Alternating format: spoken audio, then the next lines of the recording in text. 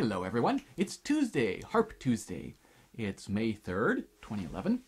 And today I'm going to be continuing my in depth look at Gabriel Fauré's Impromptu. And today I'm going to look at the this little middle section that we sort of skipped over last time. On my version, it happens starts on page 3 and goes on page 4 and 5. So let me play you a, a, a clip of, of, of me playing that.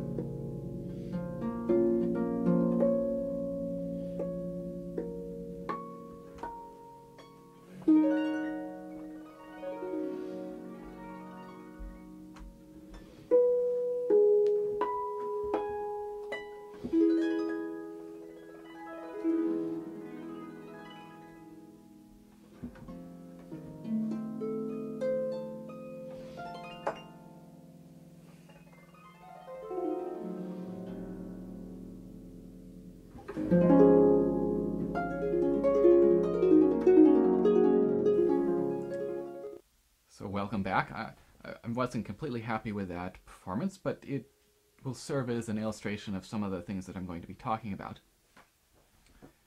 And this middle, this, I think of it sort of as a middle section, I guess, um,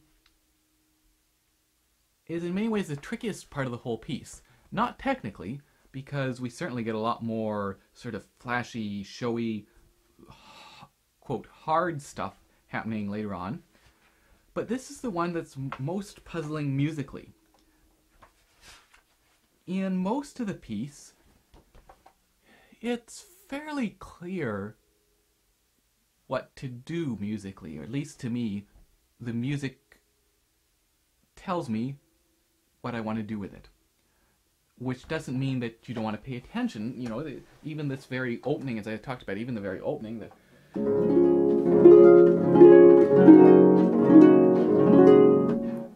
you don't want those to just be a bunch of chords. You want there to be a, this sense of overall line. But that line is fairly easy to find. It's fairly easy to, to get a sense of what to do with it. And of course, what you what it may tell you to do with it is something that might be completely different than I'm doing. But I still think that that's through the bulk of the piece. It it it's quite easy to figure out what you want to do with it and where it's going. Whereas with this section, it's much it's much harder. Is this section is very reminiscent of another piece that Fauré wrote for the harp, uh, "The Lady in Her Tower," and it sort of it, it meanders around. It doesn't necessarily have a clear direction, and it's just sort of. I think one way to think of it is it's a little slice of time, so that most of the piece, we're, we're, it's really obvious that we're going somewhere, and things are happening. But this section is much more contemplative, and perhaps we need to strive to create a sense of just uh, spinning in space. We don't we don't want it to feel dead, but perhaps just this relaxed moment where we aren't hurrying anywhere, where we're just enjoying this moment as it happens. To me, this section starts with uh, with this a tempo that and we periodically throughout this we get these statements there with these big low chords and typically marked a tempo and, and forte and then in between that we have this first section marked meno mosso it's a little less.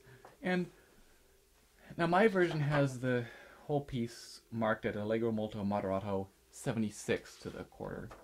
And but if you listen to recordings, and I definitely suggest listening to as many recordings or searching YouTube, listening to different performances, people will take various different tempos, and all of those tempos can be made to be effective. So, but here, when this little section starts, Meno mosso, and it doesn't necessarily have to mean that it's much, if any, slower it just needs to feel slower. That instead of this, you know, uh, uh, this this fairly driving, you know, even that which is somewhat flowing, it's got all these notes that's happening. It we, we, we're there's this excitement there, and and now it's calmer, so that even though the tempo may be close to the same, the feeling is of, of, of less less quickly, of less less hurry to get somewhere. We're, we're just sort of floating. So we, we get these little statements and we wander up.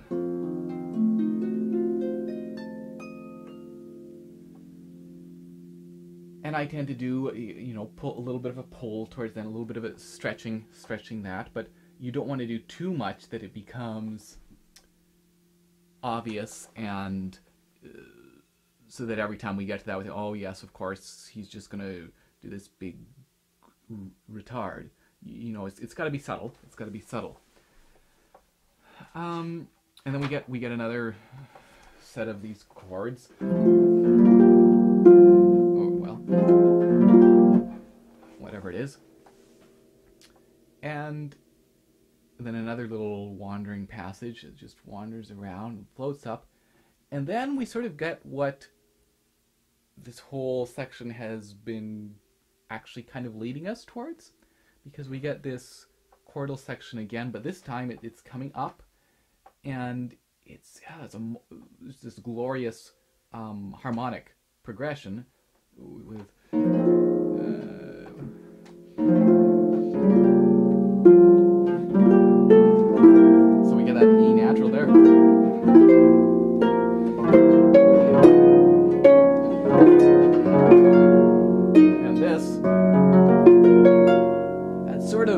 that we've been going towards, so that this section, in a way, is all leading to this glorious chord. And then it starts winding its way down.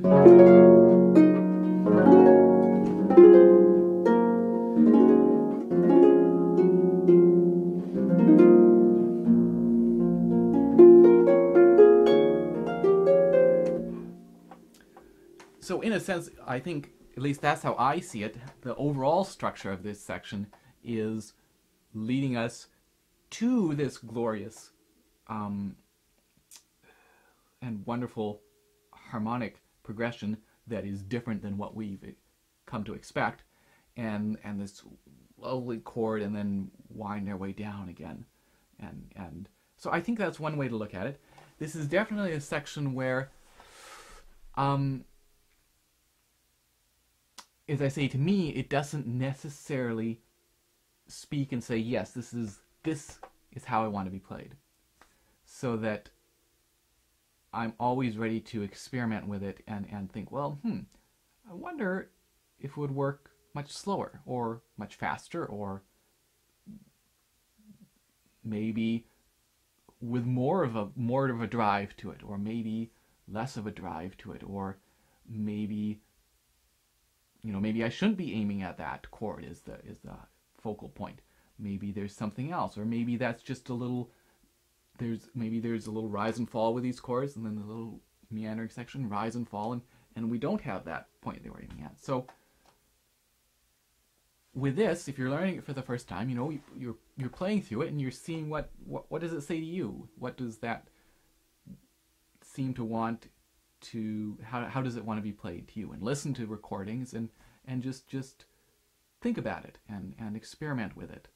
Um, and yeah, definitely things like playing it at a much faster tempo. And the important thing to do in something like that is to record yourself because again, this is this tricky thing of it's sounding different when you're not actually playing it. So you can you can be playing it and you can think, wow, this is so fast. This is just sounds so so so rushed and hurried, and then listen to the recording, and you can think, oh, hmm, actually that works. I was able to make it feel smooth and uh, floating and relaxed, even though when I was playing it, I was thinking, whoa, this is, is way too fast.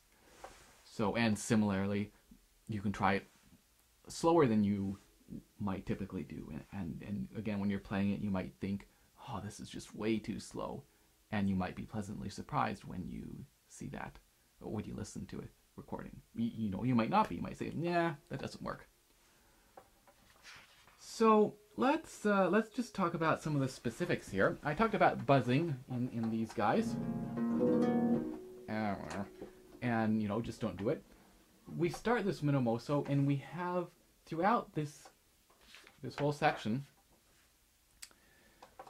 he's playing around with 3 against 2.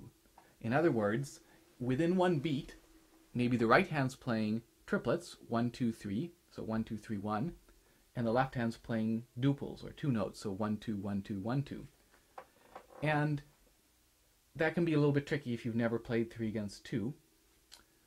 And what it is, you can think of it as sixes, so that you have, you know, if the right hand's playing three notes, both of them play on one, and two, nobody plays on, three, four, five, six. Nothing plays on one, two, three, four, five, six.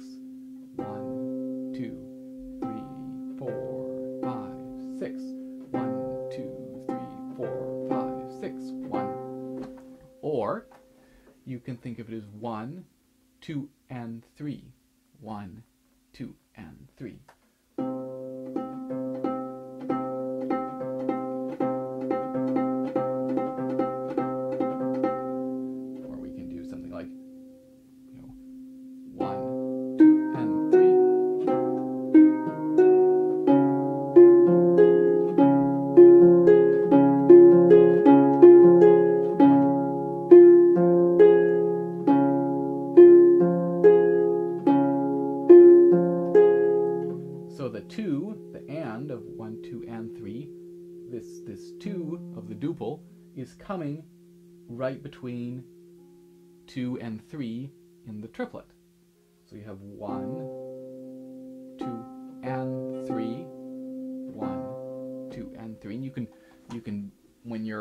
harp, you can beat that out with your hands, you know, well, you can't, can't see, but 1, 2, and 3, 1, 2, and 3.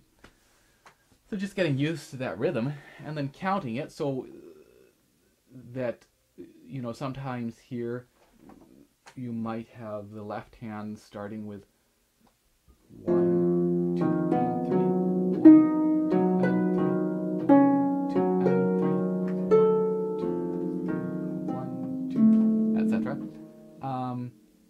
sometimes have, for example, that second triplet's not even being played. So you might have one, two, three, one, two, three in the in the left hand, so that you have you have one, three, one, two, three. So you're missing that two. And the right hand's not on one, but it's coming in on on the two of the duple. So one, two, and three,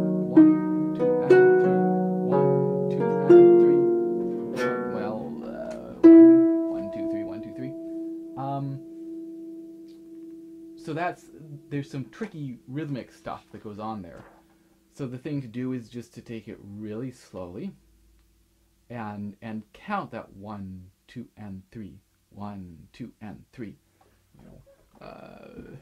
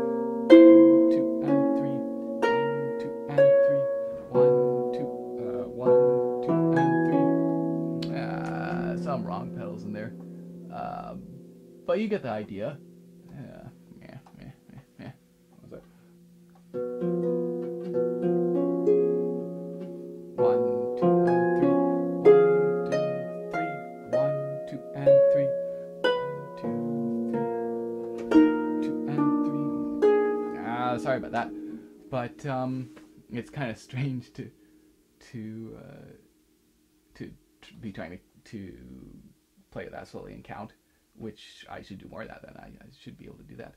Um, but sometimes when you you've played a piece so often, uh, it can be in your hands. But then when you try to break it down really slowly, suddenly you're instead of just relying on that that muscle memory, you're suddenly saying, "Hey, wait a minute, what? What, what what's going on?" So yeah, just kind of that one, two, and three until it it can flow and become natural. And of course, that's the thing about all this little section is it needs to it needs to flow. It needs to just float along.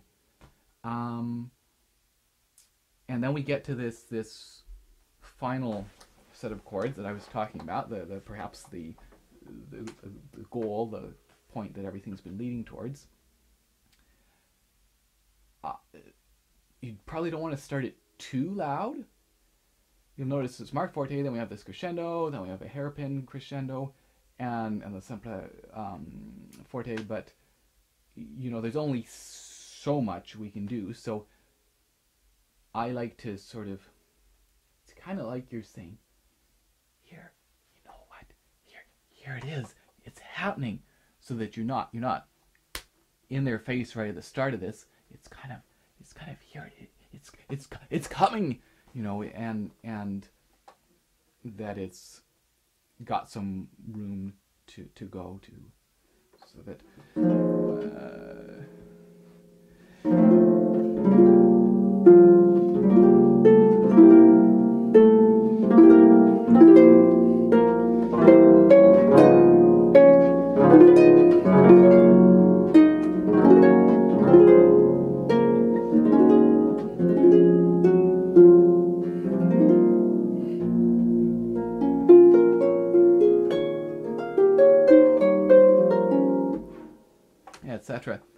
reminds me that expres- expressivo, right at the beginning, we have meno mosso and we have uh, at your pleasure. Um, and so the important thing is to first of all learn it in tempo so that you can be playing along with a metronome, that you have all these twos and threes and everything getting placed in the right spot. Because it's really important when you're going to be moving things around to know where it is that they are supposed to be so that there's a huge difference between having having a piece where the rhythm's all just wow and a, and playing a piece where you're doing a lot of stretching of the rhythm you know tons of rubato here and there blah, blah, blah, but you are very much aware of, of the structure of the rhythm and how it is supposed to fit in. So so you know learn it with a metronome and, and then of course feel free to do some pulling and, and stretching and and uh, you know I again as I was talking about these little runs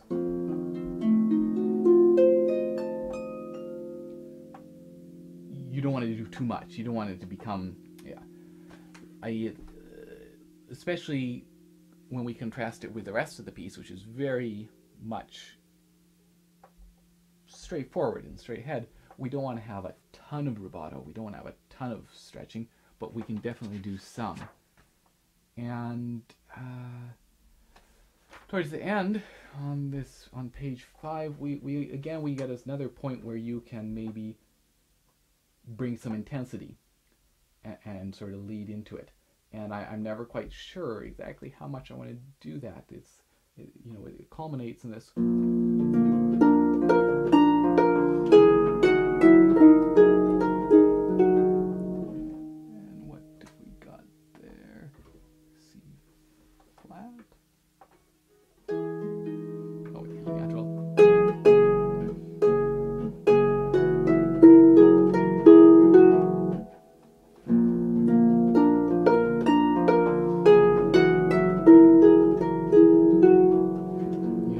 Something like that where there's quite a quite a dramatic rise and fall or or or, or less. So again play around with that but there is a spot there where you can bring some some intensity into this section.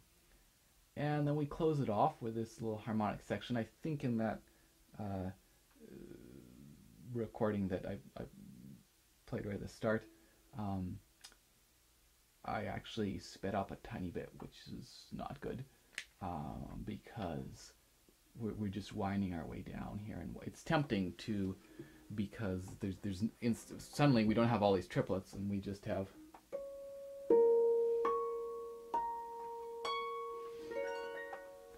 But you want to make sure that it still maintains this nice peaceful quality, and it's this section is finishing off. So we're just, you know, we're just playing some notes and doing this, finishing this off nicely, and it's not. There's, it. There's no huge importance. It's just like the rest of it. It's just just floating there in space, and we, you know, we, we wander our way around some glisses, and finish it off, and then get ready to go with this this fast and exciting section that I talked about last week. So there's that little middle-ish section, and hopefully I had some things that you found interesting to say about that.